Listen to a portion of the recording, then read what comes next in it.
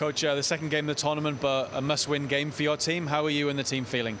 يعني المباراة الثانية للمنتخب كيف بتشوف المنتخب وجاهزيته للمباراة يعني بكل تأكيد إن شاء الله نحن اليوم على تم الجاهزيه والاستعداد من أجل خوض اللقاء الثاني أمام الأردن وجميع يعني الأهداف اللي بنصبي باتجاهنا نحصل على ثلاث نقاط إن شاء الله. لأنه يعني حصولنا على ثلاث نقاط سوف نبقى في دائرة المنافسة من أجل التاهل للدور الثاني. وكنا عزم كجهاز فني وكلاعبين من أجل أنه نحصل على نقاط المباراة الثلاث اليوم. Yes, uh, we are ready for the, the second game against Jordan and we are concentrating just to take the three points and uh, to save our chance to reach the second round.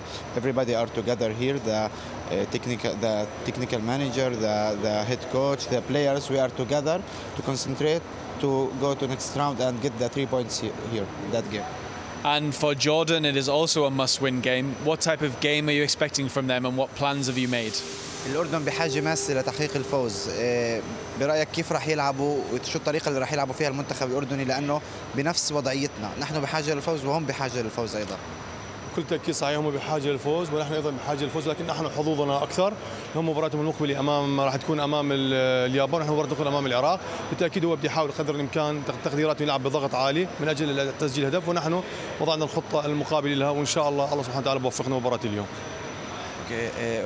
That he has agreed with you agree with you about uh, Jordan. They need win but uh, our chance is better than them because we uh, the last game against Iraq and uh, there the last game is against Japan. So it's so difficult for them.